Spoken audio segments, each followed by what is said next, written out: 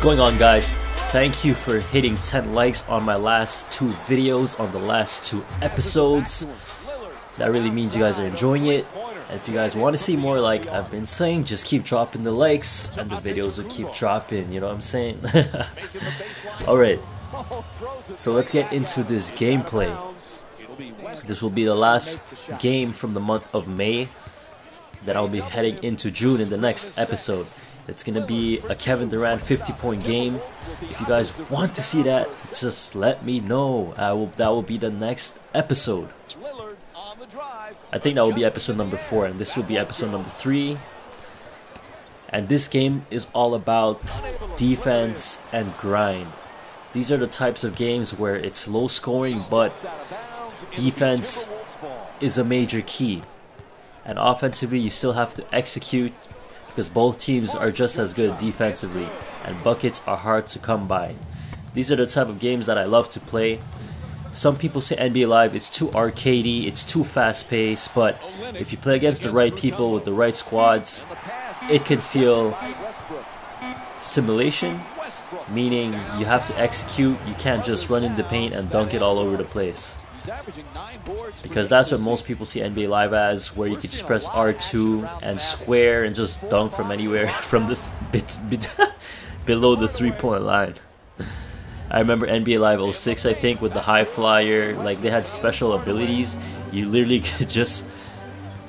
Oh my god, that was crazy. I don't even know if it was NBA Live 06 or 07, but I remember one of those games, you have special kill skills.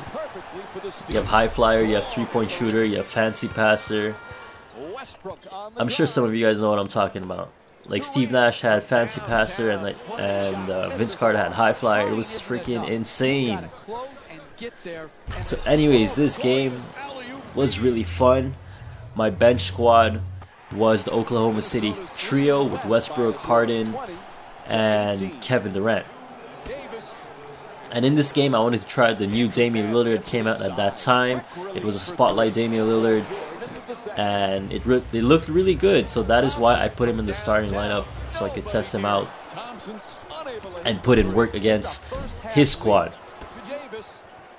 And if you guys saw in the beginning of the video, his team had 263 wins. So he is a pretty good player and he has a pretty good team as well. He has Penny Hardaway, Anthony Davis, Cousins, Giannis. I'm not even gonna, I'm not even gonna try saying his last name. I know I'm gonna mess it up and I don't want to mess it up. Damian Lillard with a sick crossover moves into the pull-up jump shot. So now it is a one-point basketball game midway through the third. This is a beautiful pick and roll, screen and roll, screen and pop, whatever you want to call it, two-man game.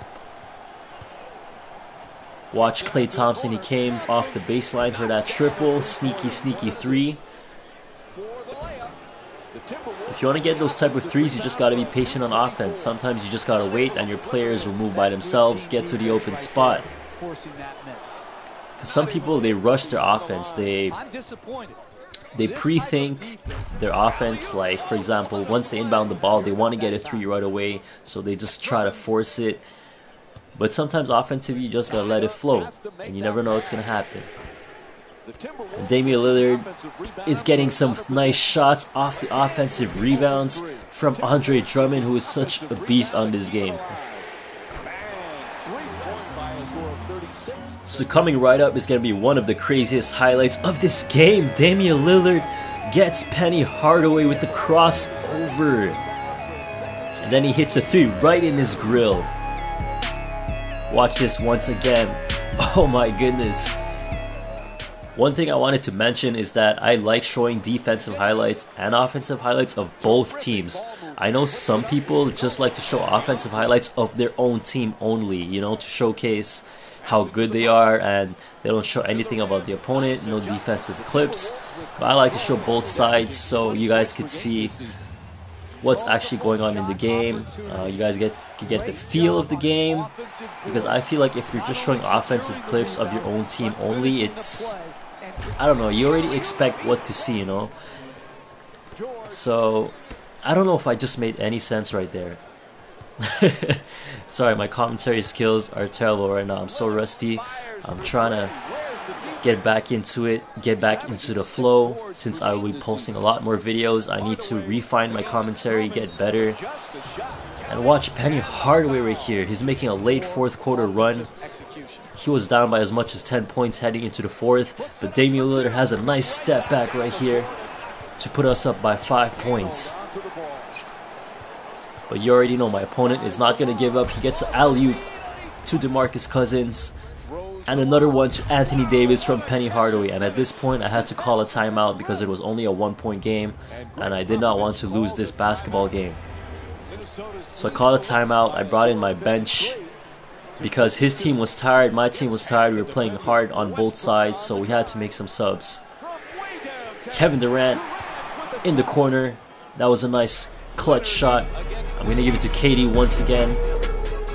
I'm going to shoot it right over his defender, 33%. And one more time to end the basketball game, Kevin Durant with a step back J in his grill once again. So if you guys enjoyed this video, keep dropping the likes, keep dropping the comments, and the next episode will be a Kevin Durant 50 point game. So if you guys are excited to see that, just let me know. And I hope you guys enjoyed this video. I'll see you guys in the next one.